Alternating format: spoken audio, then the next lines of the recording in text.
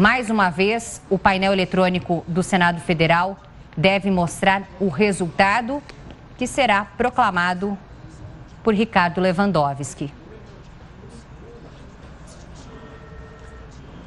Senadores agora no momento de silêncio se entreolham, estão ali aguardando pela decisão que vai aparecer no painel eletrônico. Dilma Rousseff agora já está afastada e em instantes deve saber se também ficará incapaz de concorrer a cargos públicos. Lembrando também que às 16 horas está marcada a cerimônia de posse, agora posse oficial à presidência de Michel Temer. Ele que inclusive aproveita o dia até o final do dia e deve embarcar para a China rumo à reunião do G20. Vamos ouvir o resultado.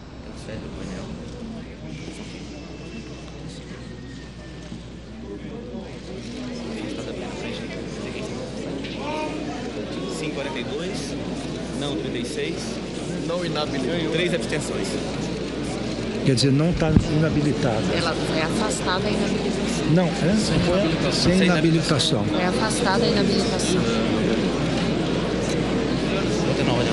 Agora que é a sentença, Está encerrada a votação. Lerei a sentença. Queria dizer a Vossas Excelências que o presidente, após a formulação do destaque, preparou dois modelos de sentença. A sentença é longa, incorpora o relatório, a parte da fundamentação compreende os argumentos da acusação e da defesa. Lerei apenas a parte dispositiva.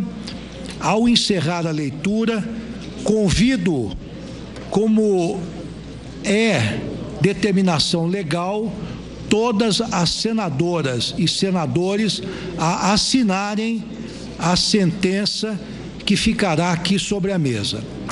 Passo a leitura.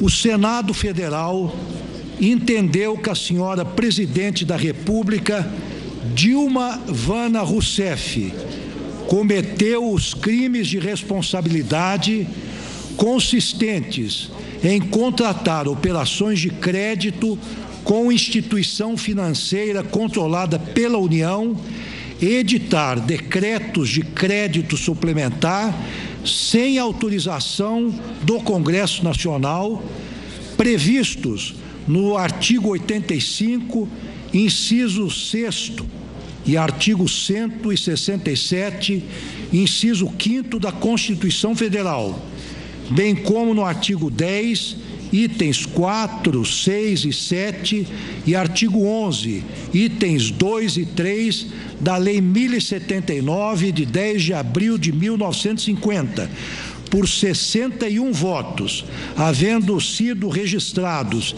20 votos contrários e nenhuma abstenção ficando assim acusada, condenada à perda do cargo de presidente da República Federativa do Brasil.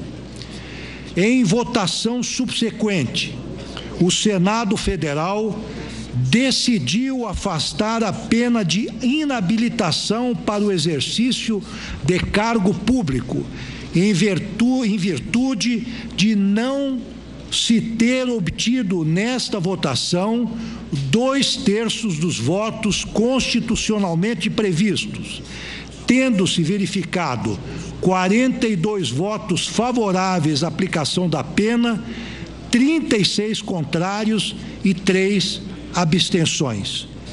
Esta sentença, lavrada nos autos do processo, constará de resolução do Senado Federal será assinada a sentença por mim e pelos senhores senadores que funcionaram como juízes, transcrita na ata da sessão e, dentro desta, publicada no Diário Oficial da União, no Diário do Congresso Nacional, segundo o artigo 35 da Lei 1079 e no Diário do Senado Federal.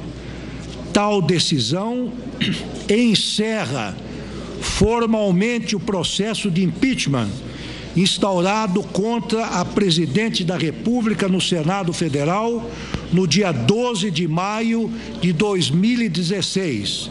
Façam-se as comunicações ao excelentíssimo senhor presidente da República em exercício, aos excelentíssimos senhores presidentes da Câmara dos Deputados, do Senado Federal e a excelentíssima senhora vice-presidente do Supremo Tribunal Federal. 31 de agosto de 2016, assino a sentença. horário, horário dos 14 e 13.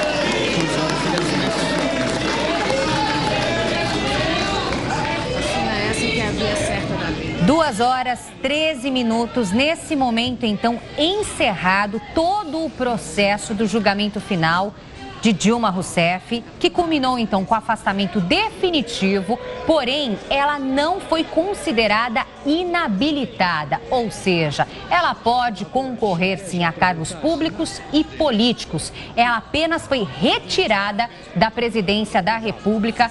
Foi a decisão então tomada pelos senadores, 81 senadores presentes aí, votação que inclusive votações que é, contaram também com a decisão do presidente do Senado, Renan Calheiros, mostrando então todo o poder que um senador neste momento exerce. Eles que tomaram ali o posto de juízes e com um voto no painel eletrônico mostraram realmente o posicionamento. Dilma Rousseff afastada definitivamente, porém mantém a possibilidade de concorrer a cargos públicos e agora, o próximo passo, ainda dentro dessa grande movimentação hoje em Brasília, é a posse de Michel Temer, até então presidente em exercício, agora colocado na instância máxima do poder no governo, que é a presidência da República.